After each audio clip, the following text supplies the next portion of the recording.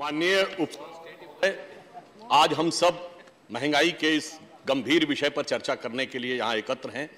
विगत कई दिनों के उग्र वाक युद्ध के बाद आज यह चर्चा हो रही है और चर्चा के दौरान भी हमने देखा कि विपक्ष के कई सदस्यों का बड़ा आक्रोश, आवेग और नयन सुख की कथा सभी चीज़ें व्यक्त की गई, परंतु अभी कुछ देर पूर्व जो एक दृश्य सदन में दिखा था कि जब ऐसा लगा था कि वो नयन को सुख देने वाला नहीं था, कि जब विपक्ष की लगभग सारी सीटें खाली नज़र आ रही थीं, परंतु अच्छा हुआ कि विपक्ष ने अपनी जगह पहचान ली और समय रहते हुए आंशिक उसकी भरपाई कर दी। अब मैं यह कहना चाहता हूँ, विषय पे आ रहा हूँ, विषय पे। विषय सुनने वालों के मन में विषय के प्रति कितना अगाध स्नेह था, ये उनके उस कार्य से दिख रहा था। अब मैं विषय पे आता हूँ। विषय बहुत व्यापक है। महँगाई का विषय बहुत व्यापक है। इसलिए इसको गंभीरता से और व्यापकता से समझने की आवश्यकता है। आज यह बताया जा रहा है कि महँगाई बहुत गंभीर स्थिति में है, परंतु मैं अभी याद दिलाना चाहता हूँ कि 2019 का लोकसभा चुनाव एकमात्र ऐसा चुनाव था जिसमें महँगाई मुद्दा नहीं था और 2004 का लोकसभा चुनाव छोड़ दें, अन्यथा हर चुनाव में महँगाई मुद्दा होता था। आज की महँगाई की हम बात करें तो भारत में रेट ऑफ़ इन्फ्लेशन जो अगस्त के महीने की है, वो सात दशमलव शून्य एक प्रतिशत है। अब यदि हमें महँगाई को पूरी तरह समझना है तो थोड़ा इसको व्यापक रूप से समझना होगा। मैं अपने विपक्ष के सदस्यों से कहूँगा कि वो जरा इस बात पर मुलाहिजा फरमाएँगे कि इस समय विश्व में महँगाई की दर में इटली में सात दशमलव नौ प्रतिशत है जर्मनी में सात दशमलव पाँच प्रतिशत है कनाडा में आठ दशमलव एक प्रतिशत है यूरोपियन यूनियन में एट पॉइंट नाइन परसेंट है यूएन में नाइन पॉइंट सोर्स के साथ बोलूँगा। बिल्कुल बिल्कुल। जर्मनी में यूएस में 9.1 परसेंट ब्रिटेन में 9.4 percent. Record Why are you wasting your energies? Spain में Sit 10.8 Sit down. Percent China में 2.5 परसेंट है चाइना में इसलिए कम है क्योंकि उनके कंज्यूमर प्राइस इंडेक्स का जो क्राइटेरिया है जिसमें उन्होंने फ़ूड और क्लोथिंग को ज़्यादा महत्व दे रखा है and the source is South China Morning Post उन्होंने अपनी रिपोर्ट में इस बात को दर्ज किया है। अब आप आइए महँगाई की दर। आज ये कोई मुश्किल बात नहीं है कि पूरे दुनिया के देशों में महँगाई की दर क्या है, जाके चेक कर लीजिए। भारत की महँगाई की दर सात प्रतिशत है। दुनिया में तिरसठ देश ऐसे हैं जहाँ महँगाई की दर दस परसेंट से ऊपर है। इतना ही नहीं है, कुछ देशों में पचास प्रतिशत, सौ परसेंट और कुछ देशों में दो सौ परसेंट भी महँगाई की रेट है। इसके बावजूद हमारे देश में सात प्रतिशत महँगाई की रेट है। महँगाई है, मैं इससे इनकार नहीं करता हूँ। परंतु, अब मैं आपको और भी सोर्स के साथ बताता हूँ, समस्या सिर्फ़ इतनी ही व्यापक नहीं है। इसकी व्यापकता पे ध्यान दीजिए। विश्व की सबसे बड़ी अर्थव्यवस्था, अमेरिका। उसमें पहली बार अपना स्ट्रेटेजिक ऑयल रिज़र्व खोला in order to curtail inflation and the source is 23 November 2021 White House की प्रेस रिलीज़ कभी बताइए आपको, ज्ञात इतिहास में ध्यान हो, बहुत बड़े बड़े विद्वान ज्ञाता लोग हैं हमारे विपक्ष में, जब उन्हें याद हो कि अमेरिका ने महँगाई को नियंत्रित करने के लिए अपना स्ट्रेटेजिक ऑयल रिज़र्व खोला हो। और उस खोलने के बाद कितना अंतर आया है? अमेरिका के एनर्जी डिपार्टमेंट की प्रेस रिलीज़ 26 जुलाई 2022 वो ये कहती है कि स्ट्रेटेजिक ऑयल रिज़र्व खोलने के बाद भी 40 सेंट पर गैलन ही कम हुआ है। यानी समस्या कितनी व्यापक और गहरी है, उसे समझने के लिए यह आवश्यकता बिल्कुल साहब टू दी पॉइंट बोल रहे हैं जब आप बात करने का प्रयास करते। हैं तो समस्या कितनी व्यापक है उसको समझने का प्रयास करिए।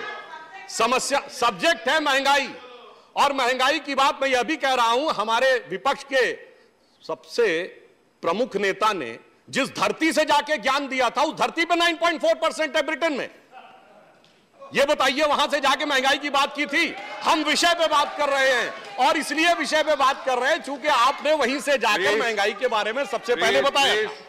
अब मैं यह भी बताता हूँ कि विश्व में महँगाई की समस्या सिर्फ़ इतनी नहीं है।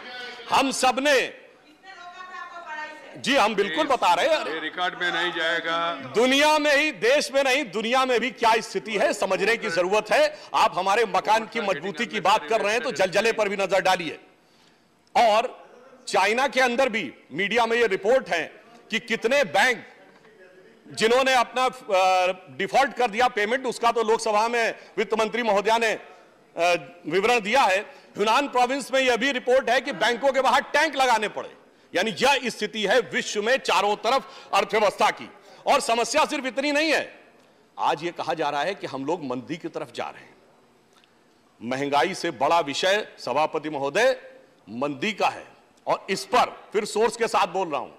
ब्लूमबर्ग की पूरी दुनिया के भारत सहित देशों के बारे में मंदी की रिपोर्ट भी उपलब्ध है जिसके अनुसार इस समय अमेरिका के मंदी में जाने की संभावना है 38 प्रतिशत यूरोपियन यूनियन की है 50 प्रतिशत चीन की है 20 परसेंट ऑस्ट्रेलिया की है 20 परसेंट और साउथ कोरिया और जापान की है 25 परसेंट। अरे सुनिए तो। Then I have to call you name you. सभापति महोदय makes running commentary. मैं ये चाहूँगा कि सब लोग शांति से सुने तो बेहतर बात रहती सभी है। के लिए यही मेरा सूचना है। अब मैं आ रहा हूँ। के बारे में कमेंट मत करिए। अब ब्लूमबर्ग के अनुसार भारत की अर्थव्यवस्था को मंदी में जाने की संभावना है ज़ीरो परसेंट। विषय पे आ रहा हूँ। इसलिए मैं कहना चाह रहा हूँ मैं क्यों विषय बता रहा था? अरे, हमारी हालत तो वो है कि समुद्र में सुनामी आई हुई है अगल बगल के जहाज़ पलटे गिरे जा रहे हैं, हमारा कैप्टन कितनी सावधानी के साथ जहाज़ को लेकर आगे जा रहा है, और ये कह रहे हैं कि अगल बगल के पलटते जहाजों को मत देखो, हमारे जहाज़ पे आते हुए हिचकोले को देखो। तो मैं कहना चाहूँगा कि हमारे प्रधानमंत्री मोदी जी तो इस प्रकार की परिस्थितियों के आदि रहे हैं। विपक्ष चाहे जितनी भी कांटे बिछाता रहे और कितनी विपरीत परिस्थितियाँ हो मैं उनके लिए एक पंक्ति कहना चाहूँगा कि वह पथ क्या पथिक कुशलता क्या जो पथ में बिखरे शूल न हो और नाविक की धैर्य परीक्षा क्या जो धाराएँ प्रतिकूल न हो। तो इस प्रतिकूल धारा में हम अपनी अर्थव्यवस्था को कैसे ले जा रहे हैं? अब अगली बात आती है डॉलर के मुकाबले तो रुपए की वैल्यू कम हो रही है। डॉलर के मुकाबले रुपए की वैल्यू क्यों कम हो रही है? और वास्तविकता में रुपए की स्थिति क्या है, यह भी मैं आपको बताना चाहता हूँ कि इस समय प्रकाश जी ने इस विषय का थोड़ा सा ज़िक्र किया कि चाइना की करेंसी के मुकाबले रुपया स्थिर है, येन के मुकाबले रुपया बेहतर हुआ है, स्टर्लिंग पाउंड के मुकाबले स्थिर है और यूरो के मुकाबले थोड़ा इंप्रूव किया है। तो सिर्फ़ अमेरिका केंद्रित मानसिकता से थोड़ा बाहर आइए और उसके बाद भी आपको दिखेगा कि वास्तविकता क्या है। और अमेरिका में भी डॉलर के मुकाबले हमारी रुपए की वैल्यू क्यों कम हो रही है? क्योंकि अमेरिका अपने डॉलर के मूल्य बढ़ा रहा है, मैं फिर कोट कर रहा हूँ। 27 जुलाई 2022 सीएनबीसी की रिलीज़ वो कहता है Fed federal reserve hike the interest rate by 0.7 percent point for second consecutive term in order to contain inflation वो अपनी महँगाई को बचाने के लिए लगातार दूसरी बार 0.7 परसेंट पॉइंट की बढ़ोतरी कर रहे हैं। इस कारण से डॉलर के मूल्य में आपको यह अंतर नज़र आ रहा है। इसीलिए येन हो या यूरो हो या स्टर्लिंग हो, वो अंतर नहीं नज़र आता है। अब भारत में हमने क्या किया? मोदी जी के नेतृत्व में निर्मला जी जो काम कर रही हैं, हमारी स्थिति क्यों बेहतर है, उसका भी मैं कारण बताना चाहता हूँ। कारण यह है कि हमारे यहाँ महँगाई और विकास दर दोनों संतुलित इसलिए हैं कि हम विश्व की बड़ी अर्थव्यवस्थाओं में एकमात्र बड़ी अर्थव्यवस्था है जिसका डेट टू जीडीपी रेशियो सबसे कम है, बाकी सभी अर्थव्यवस्थाओं का debt to GDP ratio 100 percent से ऊपर। और इतना ही नहीं, महँगाई को नियंत्रित करने के लिए ज़रूरी था कि हमारे पूरी अर्थव्यवस्था की मज़बूत आधार हो। और उस मज़बूत आधार के लिए द इकोनॉमिस्ट जो जिन्होंने कोट करते हुए भारत के बारे में लिखा है कि पाँच प्रमुख कारण रहे जिसकी वजह से भारत इस परिस्थिति में भी महँगाई और रिसेशन के दौर में नहीं जा पा रहा है। पहला कारण उन्होंने बताया कि सिंगल मार्केट हमने क्रिएट की, यानी जीएसटी दूसरा बताया गया कि expansion of industry but with shift towards renewable energy और सोलर एनर्जी से लेकर हाइड्रोजन एनर्जी तक के लिए क्या हो रहा है, वो हमें सबको पता है। फिर moving from of supply chains away from China क्योंकि आज चीन के अंदर जो हो रहा है, उस कारण से तमाम प्रोडक्ट्स की सप्लाई चेन पे प्रभाव पड़ रहा है। दुनिया के अन्य देश प्रभावित हो रहे हैं, परंतु भारत ने उससे अपने को बचाने में सफलता हासिल की है। And the prominent use of IT जो हमने आईटी का यूज़ किया है, जनधन, मोबाइल, इस कारण से भी काफ़ी हद तक गतिशीलता बनी हुई है। And the high welfare society इस विपरीत परिस्थितियों में गरीबों को किस प्रकार से जन कल्याणकारी योजनाएँ चलानी चाहिए, वो उस कारण से भी हमारी स्थिति अच्छी है। और इसीलिए जो इंटरनेशनल इकोनॉमिक रेजिलियंस की रैंक में हमारी रैंक बढ़ने के बारे में भविष्यवाणी की गई है कि भारत अब हो सकता है कि जर्मनी और कनाडा के बाद सबसे बेहतर इंटरनेशनल इकोनॉमिक रेजिलियंस की दृष्टि से सेकेंड रैंक पर पहुँचने की संभावना है। और इस कारण से क्या है? जी आपका टाइम समाप्त हो रहा है। मुझे तो पंद्रह मिनट बताया गया। बताया हमको टेन मिनट इसमें इसमें दिया तो मैं अपने प्लीज़ प्लीज़ अच्छा अब उसके बाद भी मैं बताना चाहता हूँ मैं दो तीन मिनट और लूँगा। दो तीन मिनट नहीं है एक मिनट है।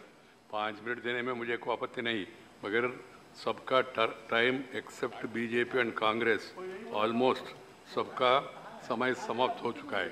कुछ पार्टी ने सुबह नाम नहीं दे पाया वो लोग अभी नाम दे रहे हैं। तो इसको एक एक मिनट दियो तो भी उसमें में समय लगेगा। हमारे पूर्ववर्ती वक्ता ने समय से पहले समाप्त कर दिया ऐसे नहीं भाई तो भैरव साहब है इसे।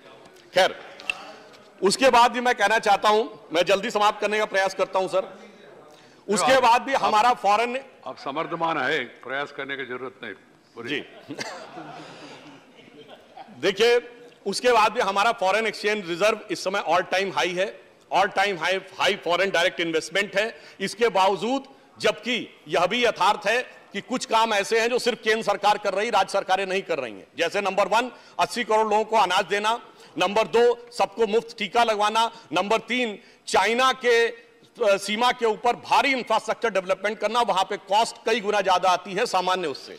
इसलिए अब मैं यहाँ पर यह भी कहना चाहूँगा कि अगर आप पूरी तरीके से एनालिसिस करना चाहें घर के अंदर भी तो हम यह भी बताना चाहेंगे कि इस समय कुछ राज्य ऐसे हैं जिनकी की परसेंटेज ऑफ़ इन्फ्लेशन राष्ट्रीय औसत से ज़्यादा है, जिसमें तेलंगाना है, उसका 9.4 प्रतिशत है। एडिलविस सोर्स है इसका।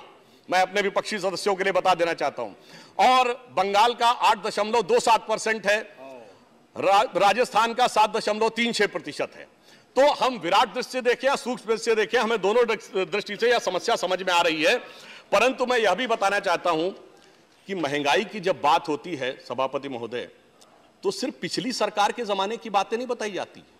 हम लोगों से कहा जाता है, आज तो यूट्यूब पे खूब अवेलेबल है लोगों के वीडियो 50 साल की सबसे बड़ी महँगाई 50 साल की सबसे बुरी अर्थव्यवस्था। मुझे याद आता है, सभापति महोदय, हम 2022 में हैं।